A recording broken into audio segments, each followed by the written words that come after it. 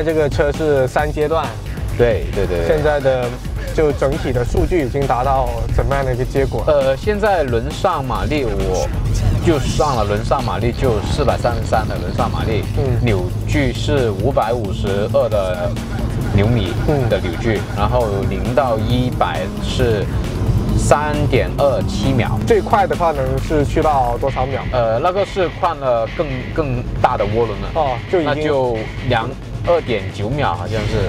现哦，现在你用的这个涡涡轮是呃 b a 的四六二，啊，这个是属于比较呃不算特别竞技的一个涡轮呃对比原厂耐用的，哦。然后呃耐用的一一点的一个比原厂大一点点的涡轮。但我现在日常开，真的就跟普通的 S 三没有太大的区别。对呀它不会给你一种无法驾无法驾驭的一种感觉，对吧？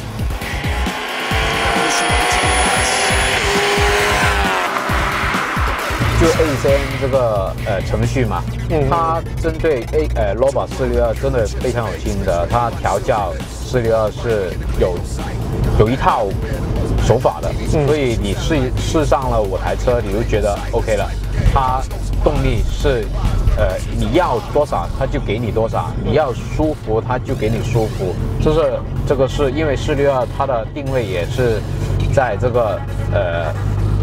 就是也不会太过激烈，但是也比较稳定，嗯，所以你开起来就知道了。就它很稳定，但是又能给你动力，对也很好去驾驭。对对就这三点，就它整个调教就非常好。对对对，听我朋友所说的一句话真的很好，就人一定要凶过这一台车。嗯如果你不凶过它，你肯定驾驭不了，那就很容易发生事故了。所以这一句很一定要做记住，人一定要凶过这一台车。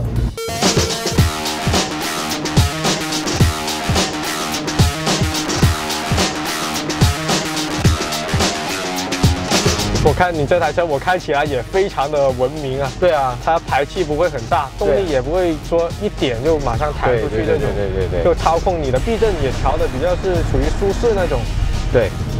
就是说你整个对这台车改装的一个定位是怎么样的？呃，我刚才只说了，就是定位就是一台呃有性能的买菜车，因为我上班我是做改装的嘛，嗯，但是我下了班我还是一个普通市民啊，我还要遵守交通规则，呃，文明开车啊，所以你看我慢慢开的时候，在城市里面开，呃，比较低压，嗯啊，但是我要做成绩的时候，我可以很暴躁，嗯可以有这个时间，嗯，就 OK 了。它就像一个存在这个车里面的一个潜力一样。对，没错，没错，没错，没错。就我刷了成绩之后，嗯也可以兼顾到我在日常上下班生活用的，就 OK 了。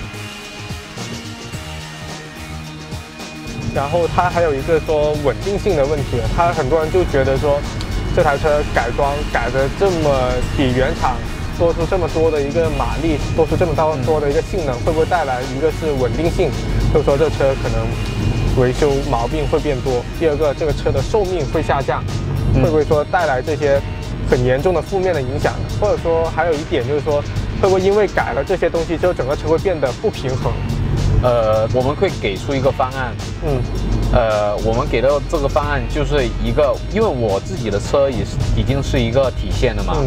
因为呃，如果如果我给的这个方案你觉得 OK，嗯。因为我给的方案就是一个呃，不要说最好了，嗯。就我认为 OK，嗯。可以稳定，就是稳定长时间的稳定，嗯。